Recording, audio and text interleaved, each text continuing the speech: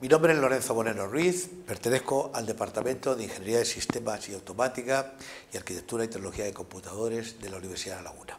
En el tema de los tipos de memoria virtual se van a definir los tres tipos posibles de memoria virtual, se analizarán las ventajas e inconvenientes de cada uno de ellos.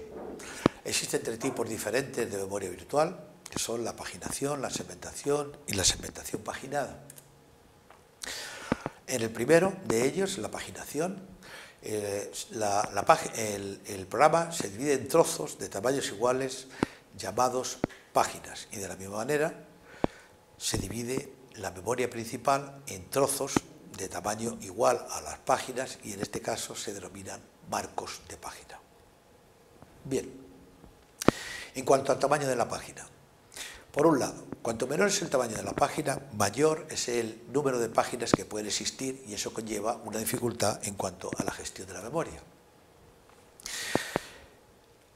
Además, cuanto menor es el tamaño de la página, más fallos se producirán eh, al, buscar las páginas en memoria, en la memoria física. Sin embargo, por contra, cuanto si el tamaño, cuanto menor es el tamaño de la página, menor será el tiempo de transferencia entre el disco y la memoria principal o viceversa. Por tanto, no hay un tamaño de página ideal para, eh, para la página y oscila de unas máquinas a otras desde 512 a 512 bytes, 1K, 2K, 4K, 8K, son tamaños de página que podemos encontrar. La segmentación. Pues bien, en la segmentación el programa se divide en trozos eh, de tamaño variable eh, que reflejan la división lógica de un programa. Es decir, habrá un segmento de código, habrá un segmento de datos, habrá un segmento de rutinas, etc. Eso permite una, eh, una, capacidad de protección individual, es decir, podemos proteger, por ejemplo, al segmento de código de escrituras, porque un, código normal, lo normal es que se lea. Por tanto, si hacemos una escritura, eh, lo estamos violando, ese proceso. Por el contrario, eh, los, segmentos, los eh, segmentos de tamaño variable fraccionan excesivamente la memoria. Entonces hay que recurrir al hecho de reorganizar cada cierto periodo de tiempo la memoria física.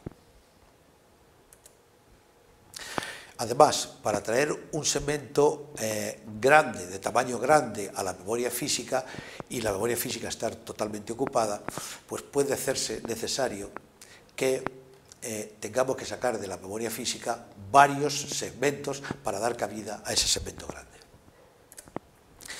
La segmentación paginada. En los dos extremos tenemos por un lado la paginación y por otro la segmentación.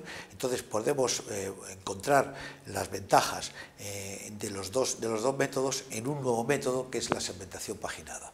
En la segmentación paginada, como en la segmentación, se divide la, el programa en trozos de tamaños variables, pero cada segmento se divide en trozos eh, de tamaño igual o páginas. Las páginas en un mismo segmento se encontrarán contiguas en el disco, pero no tiene por qué ocurrir eso mismo en la, memoria física.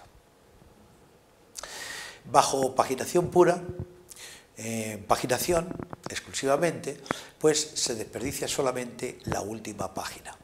Mientras que bajo segmentación, segmentación paginada, pues se desperdicia la última página en cada uno de los segmentos. Bien.